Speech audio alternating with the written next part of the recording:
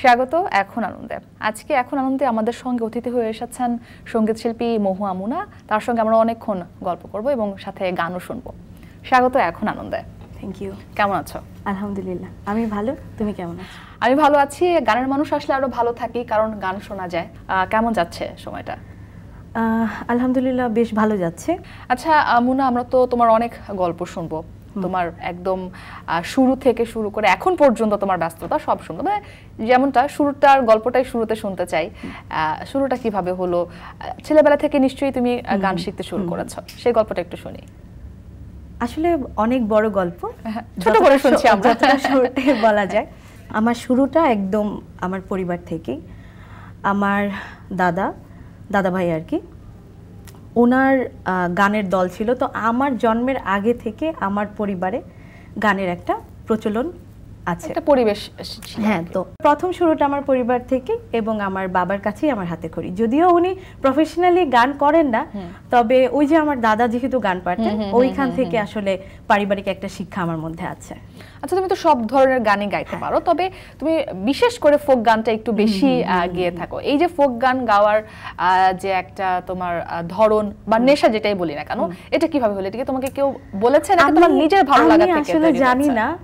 ওই যে বললাম পারিবারিক একটা শিক্ষা আমার দাদা হচ্ছে বাউল গান জারি সারি ভাটিয়ালি এই ধরনের গান করতেন।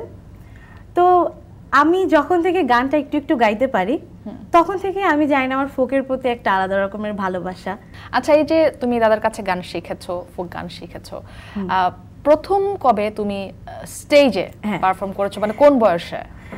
এইটা আসলে আমার স্টেজে ওঠা হয়েছে অনেক আগে। মানে অনেকটা আমার মনেও নেই।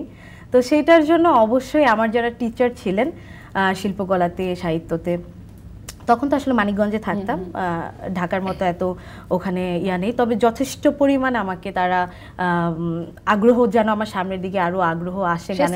হ্যাঁ সেই সাপোর্টটা দিয়েছে। আর তারপর আমি যখন ইন্টার ফার্স্ট ইয়ার তখন থেকে হচ্ছে আমি স্টেজে একদম হ্যাঁ একদম। প্রফেশনাল ভাবে গানটা করি। আচ্ছা সেই যে তুমি ছোটবেলায় যে গানটা তোমাকে সবাই জোর করে তুলে দিল স্টেজে তুমি গানটা গাইলে কোন গানটি গেয়েছিলে সময়? একটা ছোট্ট গল্প আমি বলতে চাই। আচ্ছা গল্পটা শুনব তবে গল্পটা শেষ করে গানটিও আমরা একটু হ্যাঁ হ্যাঁ অবশ্যই। এই গল্পটা বলার রিজন হচ্ছে লাস্ট দুই দিন আগে আমার একটা গানের এক বছর হলো যে গানটা আমার সর্বোচ্চ ভিউ টেন মিলিয়ন ইউটিউবে একটা চ্যানেলে উইদাউট এনি বুস্ট এই গানটার লেখক হচ্ছেন শ্রদ্ধেয় সৈয়দুল্লাল ভাইয়া। একটা গান ছিল যে গানটা আমার সব থেকে বেশি পছন্দের। আমি স্টেজে উঠলেই যারা টুকটাক জানতো যে আমি গান করি ওনারাও আমাকে এই গানটাই রিকোয়েস্ট করতো। ওই গানটাও সৈয়দুল্লাল ভাইয়ের লেখা কি বা জাদু মন্ত্র বলে পাগল বানাইলাম। আচ্ছা আচ্ছা তো ওই গানটা হচ্ছে আমি বেশি গাইতাম সেই লেখকের কাছে কোনোভাবে আমি পৌঁছাতে পেরেছি উনি আমাকে খুঁজে বের করেছে। তারপর আমাকে আর আকাশ মাহমুদ ভাইয়াকে দিয়ে একটি গান উনি করায় সুন্দরী রে শিরোনামের এই আচ্ছা। গানটা যে যে গানটার কথা বললাম টেন মিলিয়ন হলো। তো এই গানের লেখকই হচ্ছে সৈয়দুল্লাল ভাই যার গানটা আমি স্টেজে বেশি গাইতাম। তো ওই গানটা দুই লাইন আজকে হ্যাঁ শোনাতে হ্যাঁ চাই। অবশ্যই অবশ্যই। এবং এরপরে যে গানটি টেন মিলিয়ন ভিউ হয়েছে আমরা সেই গানটিও শুনব। হ্যাঁ এক লাইন অবশ্যই গাবো কারণ ওইটা যদিও ডুয়েট গান আকাশ ভাইকে ছাড়া ভার্সনটা আমরা হ্যাঁ, শুনব। আমার ভার্সনটা আমি একটু গাইবো। অবশ্যই। Okay. ওকে। কি বা জাদু মন্ত্র বলে পাগল বানাইলা?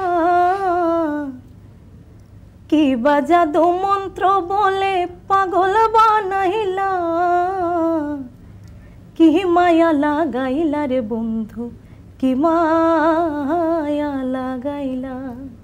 কি মায়া লাগাইলা রে বন্ধু, কি মায়া লাগাইলা? তারা নিয়া চন্দ্র খেলে দূরের আসমানে ফুল নিয়া খেলে ভ্রমর ফুলের বাগানে। তোমায় নিয়া প্রাণে প্রাণে খেলতে মনে চায়। তোমায় নিয়া প্রাণে প্রাণে খেলতে মনে চায়। কি মায়া লাগাইলা রে বন্ধু, কি লাগাইলা চমৎকার চমৎকার মোনা। আমরা তো আরও গল্প করব এবং যে বলছিলাম তোমার যে গানটি টেন মিলিয়ন ভিউ হয়েছে সে গানটিও শুনব তবে তার আগে আমরা এই পর্যায়ে একটি ছোট্ট বিরতি হ্যাঁ। নিচ্ছি। দর্শক এখন আনন্দে নিচ্ছি ছোট্ট একটি বিরতি।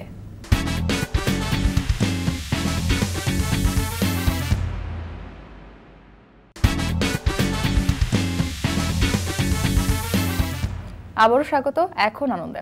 আচ্ছা তো সেই শুরুর গল্পটা আমরা শুনলাম। তারপরে মানিকগঞ্জ থেকে ঢাকার যাত্রাটা একটু জানতে চাই। কীভাবে ঢাকায় এলে কীভাবে এইখানে তোমার গানের পরিচিতিটা হলো এখানে তোমার গানের যে চর্চাটা শুরু হলো সেই গল্পটা একটু শুনব। আমি কখনোই ভাবিনি যে আমার ঢাকাতে এইভাবে থাকা হবে কারণ স্কুল কলেজ সেগুলো যেহেতু আমার মানিকগঞ্জে। কিন্তু গানটার সাথে এমনভাবে জড়িয়ে গেলাম দুই একটা প্রোগ্রাম করতে করতে তারপর দেখা গেছে মানিকগঞ্জ থেকে আমার এখানে প্রোগ্রামের প্রেশারটা এত বেড়ে গেল হঠাৎ করে। কারণ এইটার জন্য অবশ্যই আমি তাদেরকে থ্যাংকস জানাব। আমার যারা শ্রদ্ধ অ্যারেঞ্জাররা আছেন বাহিরে যে প্রোগ্রামগুলো আমাদের অ্যারেঞ্জ হয়। তবে আমি যে ধারণাটা নিয়ে এসেছিলাম ওইটা একদমই ভুল। আমার মিউজিশিয়ান ভাইয়ারা এবং আমার যারা কো আর্টিস্টরা আছেন সবাই এত বেশি হেল্প করেছে যে আমি খুব তাড়াতাড়ি খুব ভালো একটা জায়গায় আল্লাহ আমাকে নিয়ে এসেছে। আচ্ছা মুনা তুমি তো ঢাকায় এসে স্টেজ শোতে প্রচুর পারফর্ম হ্যাঁ, হ্যাঁ, করেছ টেলিভিশনের যে ফোনো লাইভ যে সংগীত আয়োজনগুলো হয় সেখানে তুমি পারফর্ম করেছ। এবং তোমার নিজের একটি ইউটিউব চ্যানেল রয়েছে। হ্যাঁ আমার ইউটিউব চ্যানেল সেখানে তোমার কয়েকটি মৌলিক গানও তুমি সেখানেই রিলিজ হ্যাঁ। করেছ। কিন্তু ওই যে বলছিলাম তোমার সবচেয়ে ভিউ হওয়া গানটি আমরা শুনব। এই পর্যায়ে আমরা সেই গানটি একটু হ্যাঁ ছোট করে আমি দুই লাইন ট্রাই করছি গাওয়ার জন্য. কারণ গানটা একদমই ডুয়েট তা আমার আমার যে সেকশনটা আছে আমি ওটা গাইছি। বন্ধু ভ্রমরারে বন্ধু ভ্রমরারে রসের বনমালি, মন কাননে তুমি আমার ফোটা ফুলের রলে বন্ধু। ভ্রমরারে বন্ধু ভ্রমরারে বন্ধু, ভ্রমরারে রসের বনমালি, মন কাননে তুমি আমার ফোটা ফুলের রলে বন্ধু। ভ্রমরারে নাকের হলে নলক, তুমি কানের হলে দোল। গলার হলে গজমতি, খোপার হলে ফুল। আঙ্গুলের আংটি, তুমি অঙ্গে জরির জামা। অন্তরে রাতি, ও তুমি আমার প্রেম নামা সখী। ভ্রমরারে বন্ধু, ভ্রমরারে রসের বনমালি।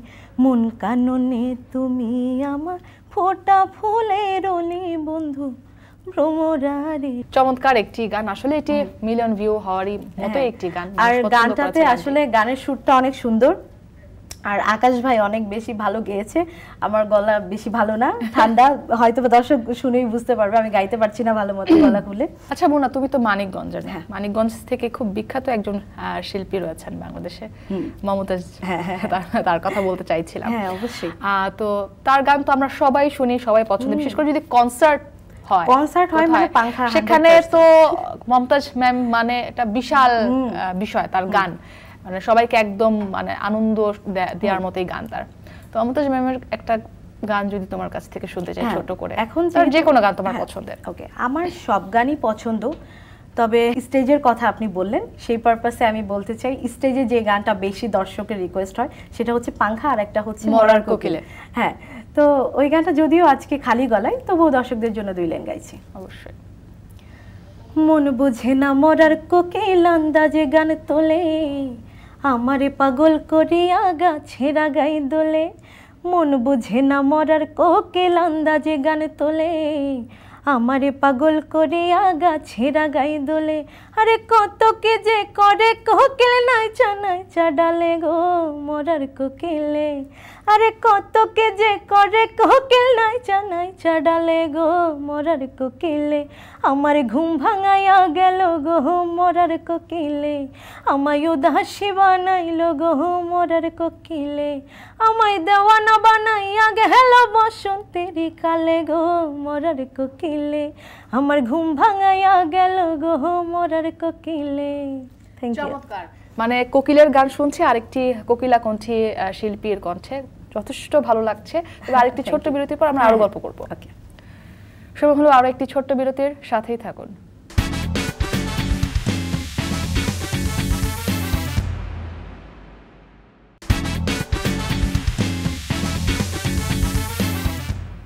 আবারও ফিরে এলাম এখন আনন্দে।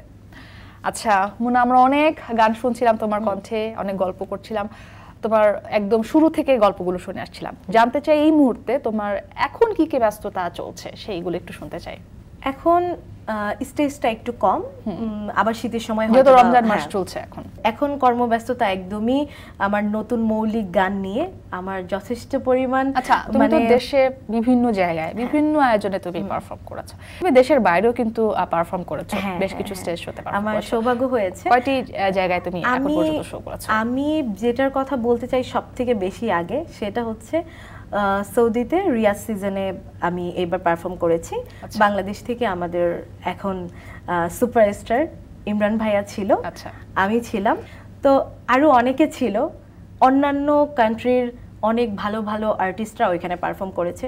তো আমি আসলে খুব লাকি যে আমি ওই রকম একটা স্টেজে ওই রকম একটা প্রোগ্রামে আমি পার্টিসিপেট করতে পেরেছি। আচ্ছা মোরা তুমি তো অনেক ধরনের গানই স্টেজে গাও। নিজের মৌলিক গান তো গাওই সেই হ্যাঁ। সাথে বাংলাদেশের যারা প্রখ্যাত সংগীত শিল্পী রয়েছেন আমাদের যারা রত্ন যাদেরকে আমরা বলি আমাদের হ্যাঁ। সংগীত ক্ষেত্রে তাদের গানের নিশ্চয়ই তোমার কাছে অনেক অনুরোধ আসে। তার মধ্যে অন্যতম একজনের নাম যদি বলি তুমি ফোক গান গাও হ্যাঁ। শাহ আব্দুল করিম। শাহ আব্দুল করিমের গান একটা রাখতেই হবে। মাস্ট রাখতে হবে। না হলে ফোকের আসরটা আসলে জমে না। আমি তোমার- হ্যাঁ। কাছে একটা গানটা শুনতে চাই আমাদের এখন আনন্দের আয়োজনটাকে একটু জমিয়ে তোলার জন্য। হ্যাঁ আমার মাটির পিঞ্জিরায় সোনার ময়নারে। চমৎকার। এই গানটা খুব বিখ্যাত বিখ্যাত আমাদের অনেক শিল্পীরাই গিয়েছেন। আহ, গানটা আমিও খুব পছন্দ করি এই গানটা দুই লাইন শোনা। তুমি আমার আমি তোমার হে আশা করে আমি তোমারে পশিলাম কত আদরে। ওই আমার মাটির পিঞ্জিরায় সোনার ময়না রে। আমি তোমারে পুষিলাম কত আদরে। কেন এই পিঞ্জিরাতে তোমার বসতি? কেন পিঞ্জিরার শনে তোমার পিরিতি? আসা যাওয়া দিবা রাতে ঘরে বাহিরে। তোমারে পুষিলাম কত আদরে। আমার মাটির পিঞ্জিরাই সোনার ময়না রে। তোমারে পুষিলাম কত আদরে। চমৎকার মোনা চমৎকার। আমরা তো তোমার কণ্ঠে দুজন আমাদের দেশের বিখ্যাত দুজন সংগীত সঙ্গীতকের গান শুনলাম। তবে তুমি গ্রিন রুমে আরেকজন আমাদের কিংবদন্তি সংগীত শিল্পী তার গানও গুনগুন করে গাইছিলে। আমি তখনই তোমাকে বলেছি যে তার গাওয়া দুটো গান তোমার হ্যাঁ, কণ্ঠে শুনতে চাই। যে প্রথমে যে গানটি তুমি গুনগুন করে গাইছিলে। তুমি আমার মনের মানুষ হ্যাঁ। এই গানটা। সাবিনা ইয়াসমিন। হ্যাঁ আমি এই গানটা দুই লাইন গাইতে চাই। কারণ হচ্ছে এই গানটা আমার খুব বেশি পছন্দের তুমি আমার মনের মানুষ। আজকে না গাইলে আসলে অপূর্ণ অপূর্ণ লাগবে দুই লাইন গাইছি। অবশ্যই। তুমি আমার মনের মানুষ মনের ভিতর। তুমি আমার মনের মানুষ মনের ভিতর। তুমি আমার জান বন্ধু অন্তরের অন্তর তুমি আমায় কইরো না কো কোনো দিনও পর. সত্যি তাই গানটির মতোই বলতে চাই যেন গান যেন মোনাকে কোনোদিন আসলে পর করে না দেয়। কারণ মোনার কণ্ঠ এত এত চমৎকার এত মিষ্টি যতবারই শুনছি মুগ্ধ হয়ে যাচ্ছি। তো মুনা নিজেকে একটু মুনার নিজের সম্পর্কে জানতে চাই পাঁচ বছর পর বা দশ বছর পর মুনা আসলে নিজেকে ঠিক কোন জায়গায় দেখতে চায়? আহ, যেহেতু গানটা করছি গানটা ছাড়ছি না আহ, যতদিন আল্লাহ ভাগ্যে রাখেন এবং যতদিন আমার দর্শকরা চায় আমাকে তো ততদিন তো করে যাব। আমার ইচ্ছে আছে একদম শেষ নিঃশ্বাস অবধি গানটাকে রাখার। এখন বর্তমানে যেখানে আছি যে পজিশনটাতে আমি কখনো ভাবিনি তখন ভাবিনি কিন্তু এখন ভাবছি।